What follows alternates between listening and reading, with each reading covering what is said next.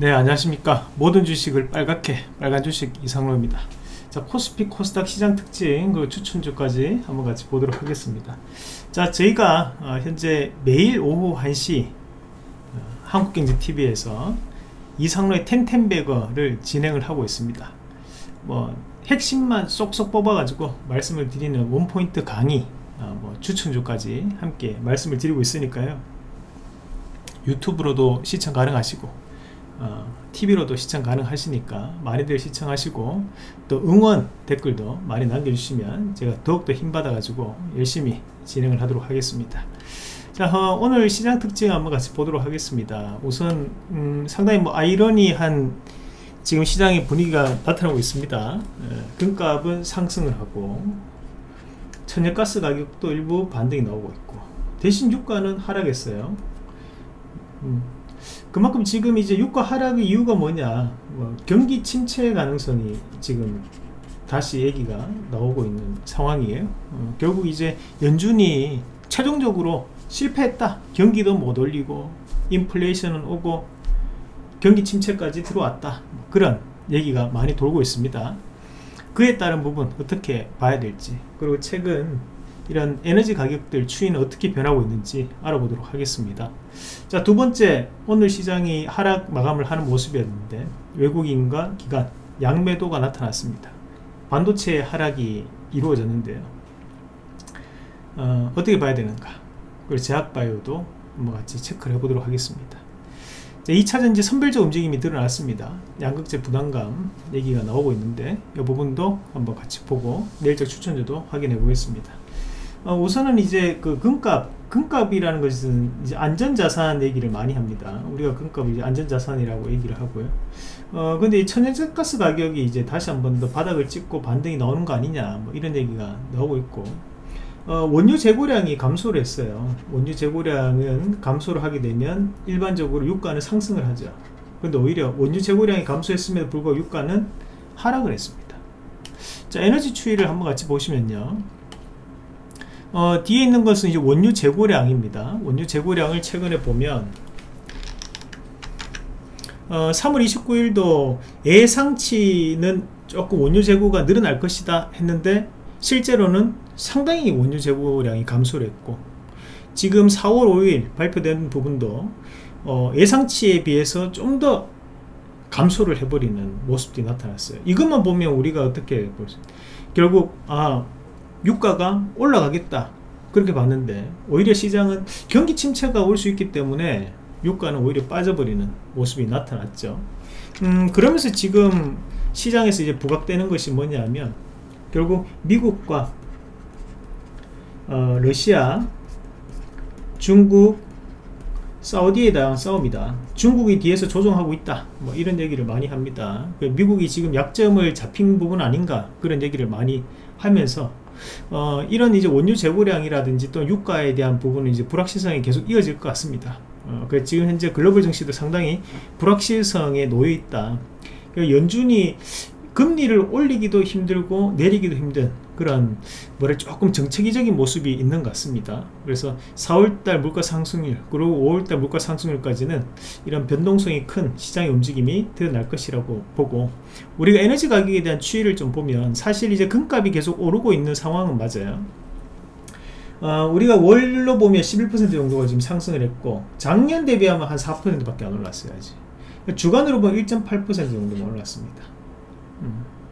지금 이제 금값과 은값은 최근 들어서 좀 오름폭이 나타나고 있어요. 은값도 지금 오르고 있는 상황이고요. 뭔가 이제 안전자산에 대한 선호도가 좀 높아지는 어, 그런 양상은 확실히 지표로도 나타나는 것 같습니다. 어, 구리 가격은 우리가 이제 경기에 대한 부분과 많이 연동이 된다고 얘기를 합니다.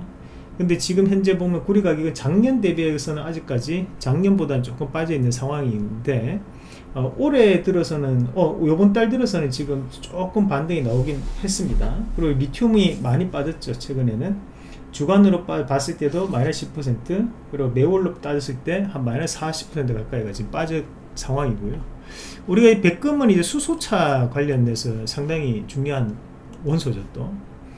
음, 그 지금 이제 원유가 지금 주간으로는 한 8% 정도 갑자기 이제 급등을 하고 조금 쉬어가는 것 같아요. 급등을 조금 쉬어가는 과정인데, 어, 저는 이제 원유가 100달러 이상까지도 갈 수 있다라고 보는 입장입니다. 그래서 이 원유 가격은 계속 한번 체크를 하면서 봐야 될 것 같고 또 한 가지 이제 천연가스 요거는 이제 미국 천연가스고 밑에 보이는 TTF와 영국 가스는 이거 유럽 가스입니다 자 이 두 가지는 가격이 다릅니다 어, 그 이제 미국 가스 같은 경우에도 지금 주간 단위로 보면 2% 반등이 나왔는데 월로 따진다면 마이너스 24%예요. 그래 지금 빠지다가 마지막에 일부 반등이 나. 작년에 대비해서 66%니까 엄청나게 하락폭을 겪고 지금 소폭 반등이 지금 나온 상황이에요. 그래서 이제 우리가 아직까지는 천연가스가 바닥을 잡았다 그렇게 보는 것은 힘들고요. 대신 어, 낙폭이 컸고 그에 따른 부분 자체에서 하방 경직성을 보이고 있다 정도로 해석을 할 필요가 있습니다. 마찬가지로 이제 TTF 가스나 또 영국 가스 같은 경우에도 주간 단위로 보면 조금 변동성이 있겠지만 그래도 이것도 이제 하방 경직성을 보이는 추가적인 하락은 좀 제한되는데 그렇다고 해서 올라가지는 못하는 그런 상황. 천연가스 가격이 상승했다. 저 부분 자체는 크게 우리가 염두할 필요는 없는 부분이고요. 그냥 이제 하방 경직성을 확인하는 과정 중의 일부다. 뭐 그렇게 어, 판단을 하시면 되겠습니다 어, 그래서 지금은 이제 우리가 글로벌 증시 자체가 불확실성이 큰 상황들이 이어지고 있습니다. 예, 그 부분을 좀 감안해서 시장도 개별주 양상들이 좀 드러날 거라고 보고 대신에 오늘 시장은 보셨겠지만 하락폭이 좀 나타나더라도 지금 현재 시장은 어, 하락폭 자체는 좀 제한될 수 있는 저는 분위기라 보거든요. 그래서 다시 한번 우상향에 대한 패턴 기대를 해볼 수 있는 자리라고 봅니다. 자, 이상로의 빨간 주식 구독하기와 좋아요도 큰 힘이 됩니다. 자 그러면 이제 오늘 그 반도체 관련된 기업들이 하락폭이 상당히 컸습니다. 삼성전자하고 SK하이닉스를 잠시 한번 같이 봐야 될 것 같습니다. 자 우선은 이제 SK하이닉스를 먼저 한번 같이 보도록 하겠습니다. 자 SK하이닉스가 오늘 0.95% 어, 또 뭐 장 후반대에서는 조금 다시 한번 더 하락폭을 좀 줄여내는 모습들이었는데 외국인들이 문제예요. 지금 외국인들이 3, 4일 연속 매도가 지금 계속적으로 쌓이면서 어, 지금 이제 그 SK하이닉스에 대한 발목을 좀 잡고 있는 그런 형국이고요. 결국 이제 실적에 대한 악재 가능성이 있다 보니까 쉽게 올라가지 못하는 그런 양상들이 좀 나타나고 있고 어, 지금 뭐 뉴스도 상당히 지금 공포스럽습니다. 반도체 쇼크 뭐 이런 얘기도 나오고 있고 어, 지금 어제 같은 공매도 금지에 대한 얘기도 있었고 그렇다 보니까 SK하이닉스 또 교환소 사채 발행도 있었죠.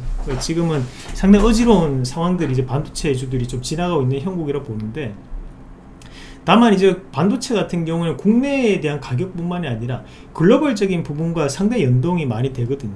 그렇다 보니까 지금 현재 글로벌적인 부분에서 추세가 빠졌느냐 꺾였느냐 그걸 한번 봐야 될 것 같아요. 근데 아직까지 필라델피아 반도체 지수가 어, 우리가 꺾였다고 보기는 힘든 자리라고 보고 ASML도 마찬가지죠. 아직까지 좋은 모습을 유지를 해주고 있고 Applied Materials 뭐 60선 위에서 움직임은 여전합니다. 그래서 어제 밑꼬리가 살짝 달리면서 잡아주는 역할을 분명히 했다는 것도 확인이 가능하신 부분이고요. 다만 이제 마이크론 테크놀로지 같은 경우에는 우리가 D램 세계 3위죠 그럼에도 불구하고 주가가 어, 지금 하반까지 또다시 한 번 더 내려오는 모습이었거든요. 상대적으로 지금 메모리 반도체를 생산하는 기업들이 주가가 조금 더 약해 보이는 것은 사실입니다. 약해 보이는 건 사실이에요. 그러면 지금 현재 엔비디아 같은 경우에는 상당히 강한 움직임이죠. 그 비메모리 반도체 분야는 여전히 우상향이 나타나는 가운데 메모리 반도체 관련된 회사는 상대적으로 조금 더 하방에 좀 놓여 있는 거고 평균적인 부분 자체를 나타내는 반도체 장비주들 뭐 그렇게 정리가 가능할 것 같습니다. 자 삼성전자에 대한 추이도 한번 같이 보시면 자 삼성전자가 오늘 2.5%가 빠졌어요. 그리고 이제 지수에 대한 프리미엄도 조금 반영된 과정인 것 같고 어, 삼성전자 같은 경우 반도체 뿐만이 아니라 다른 여타의 업황과도 연관될 수밖에 없는 기업이다 보니까 어, 하락폭은 조금 오늘 나타나긴 해서 최근까지는 뭐 제한됐다 봅니다. 오늘 삼성전자에서도 외국인들에 대한 매도세가 좀 드러났는데요. 오늘 외국인들의 매도세로 인해서 2%가 빠졌다고 보기보다는 오히려 이제 최근까지 매수를 보여왔던 금융투자, 그리고 연기금, 투신권에 대한 어, 이런 기관에 대한 배신들이 어, 지금 주가에 대한 하락을 이끌지 않았나 그렇게 보고 어, 우리가 지금 오, 늘 코스피가 1.4% 빠졌는데 전일 일본 증시가 1. 0.7입니까? 1.7 정도 빠졌고 오늘도 한 1% 이상 또 하락을 했거든요. 그렇게 또 따진다면 국내 증시는 어제 또 괜찮은 모습을 보였다는 거죠. 어, 그래서 오늘에 대한 하락만을 본다면 뭐 어쩔 수 없는 부분이지만 전일 또 그만큼 선방했던 부분이었기 때문에 오늘 시장은 조금 과한 하락이 나타났다 보고 반도체주들이 대부분 다 오늘 시장에서 빠졌습니다. 다만 이대로 추세적인 하락이 나타나지는 않을 것이다. 반드시 다시 한 번 더 반등은 나온다. 우리가 지금 현재 반도체 주들을 볼때 어, 바닥이 이미 지나갔지 않나 이렇게 생각하실 수 있어요. 하지만 저도 얘기를 했지만 바닥이 지나간 건 아니다. 바닥을 확인하는 과정이라고 했죠. 바닥을 확인하는 과정입니다. 여기서 하락이 나오더라도 하락은 상당히 제한적일 것이고 대신 상승이 나오더라도 상승도 제한적인 바닥을 확인하는 과정이 좀 더 이어질 가능성이 높다. 아, 그렇게 보는 게 맞고요. 자 마찬가지 자 제약바이오 주들이 역시 대마불사에 대한 정신으로 오늘도 다시 한 번 더 강한 모습을 보였습니다. 자 셀티리오 뭐 오늘 또 다시 한 번 더 상승하는 모습들이 나타났었고 셀트리온 헬스케어 마찬가지고요. 셀트리온 제약까지도 오늘 상승하는 모습을 보였습니다. 오늘 조금 특징적으로 볼 수 있는 것이 삼성바이오로직스가 반등세를 강하게 붙이는 모습이었는데 뭐 장 후반대에서 조금 빠지긴 했어요. 하지만 이 삼성바이오로직스 같은 경우에도 오늘 그 공장 증설에 대한 이야기가 나오면서 다른 여타 이제 CMO 관련주들과 상승을 좀 더 이어가는 모습들이 나타났었거든요. 지금 삼성바이오로직스 하반기부터 제4공장 매출 반영으로 성장을 기대한다. 뭐, 그 뉴스였죠. 지금 매출이 이제 반영될 것이다. 라는 부분이었는데, 그만큼 이제 우리가 CMO 관련된 위탁 생산된 부분 자체에서 매출이 계속 늘어나고 있구나. 라는 것을 확인했다는 과정에서 지금 오늘 한미약품이라든지, 자, 그 녹십자라든지, 자, 이런 관련되어 있는 어, CMO 관련된 기업들도 함께 반등을 보이는 그런 하루였습니다. 자, 어, 그리고 지금 오늘 뭐 HLB 관련해 가지고 이런 또 CAR-T 세포 치료제 관련한 이슈가 있었는데요. 어, 사실 이제 CAR-T 세포 치료제 같은 경우에는 우리가 이제 면역 항암제라고 보시면 됩니다. 그러니까 면역 항암제다 보니까 어, 이런 이제 CAR-T라는 것이 지금 현재 전 세계적으로 상당히 트렌드를 끌고 있는 면역 항암제입니다. 그렇다 보니 다국적 제약사 입장에서는 대부분 이 CAR-T 세포 치료제를 연구 개발을 하고 있습니다. 그래서 지금 미국 FDA 패스트트랙 선정 지정으로 인해 가지고 HLB 뭐 HLB 생명과학 오늘 대부분 다 HLB 관련된 기업들이 좋은 움직임을 보이면서 상승으로 마감하는 모습들이었는데 어, 지금 현재 HLB 관련된 부분 자체를 봤을 때 우리가 뭐 지금 바닥에 대한 부분 제약바이오라는 업종에 대한 부분이 존재를 하다 보니까 좀 더 강한 시세적인 부분 자체가 붙었다고 보거든요. 어, 지금 이제 제약바이오 같은 경우 워낙 주가에 대한 하락이 좀 컸고 그런 주가에 대한 하락폭이 컸다 보니 지금 현재는 저가 매수세에 대한 부분도 작용한다라고 봅니다. 전일 같은 경우에는 또 메디팩, 메드팩토 이런 기업들이 또 강세를 보이는데요. 사실 메드팩토가 엄청난 이슈가 있고 엄청난 호재가 있어서 상승했던 것은 아니라고 보거든요. 그만큼 가격적인 메리트가 지금 현재 제약바이오는 훨씬 더 크게 나타나고 있는 과정이고 여기에 따른 트레이딩 관점에서에 대한 움직임 정도로 해석을 할 필요가 있을 것 같습니다. 자, 국내 CAR-T 세포 치료제 관련된 기업들, 뭐 유틸렉스라든지 이런 기업들도 함께 오늘 반등이 조금 나오다가 또다시 맞고 빠지는 모습들이 나타났죠. 그 최근에 이제 제약바이오 같은 경우에도 단기 흐름이다 보니까 쫓아가면 빠져버리고 쫓아가면 빠져버리는 흐름이 많이 나타나요.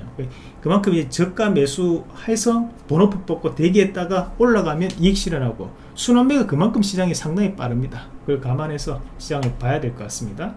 자, 그리고 이제 2차 전지 관련된 기업들이 선별적 움직임이 좀 나타났는데, 음, 우리가 이제 양극재와 음극재에 대한 부분, 양극재가 단가로 따지면 한 50에서 60% 정도를 차지합니다. 양극재가.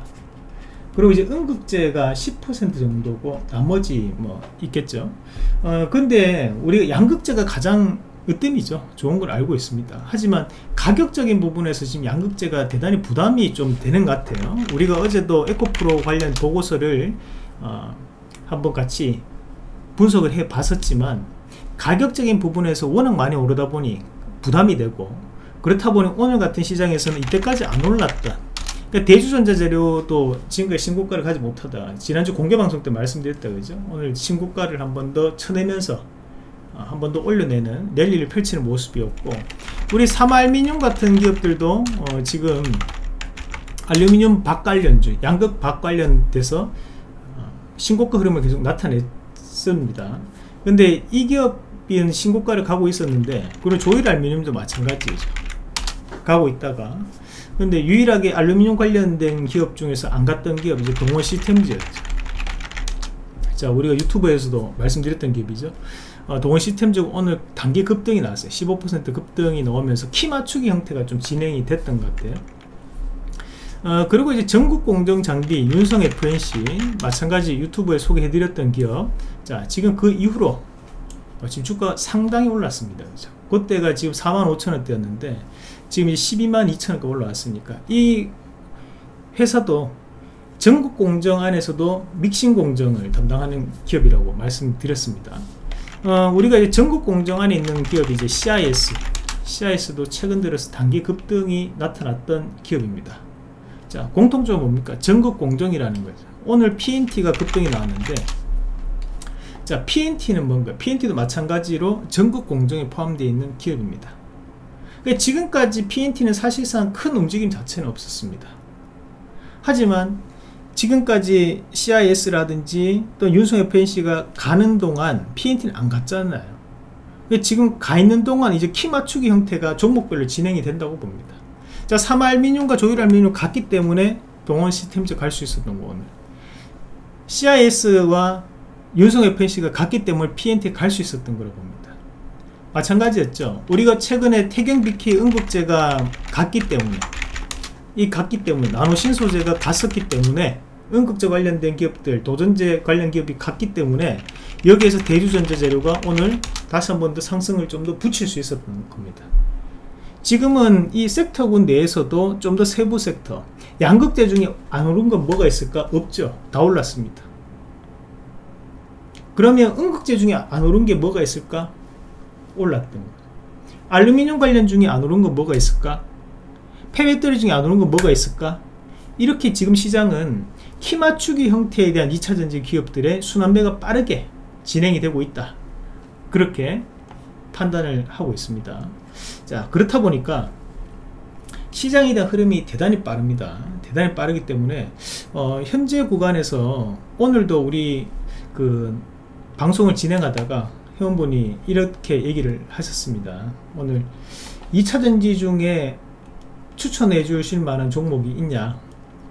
어, 힘들죠. 지금 2차전지 기업들은 대부분 다 이제 트레이딩으로는 진행이 될 수 있지만 우리가 지금 구간에서 두 배를 먹겠다, 세 배를 먹겠다 하고 들어가기에는 상당히 가격적인 부분이 부담될 수밖에 없는 자리인데 유일하게 아직까지 저가했던 것이 앞서 이제 동호 시스템즈 같은 기업들이죠.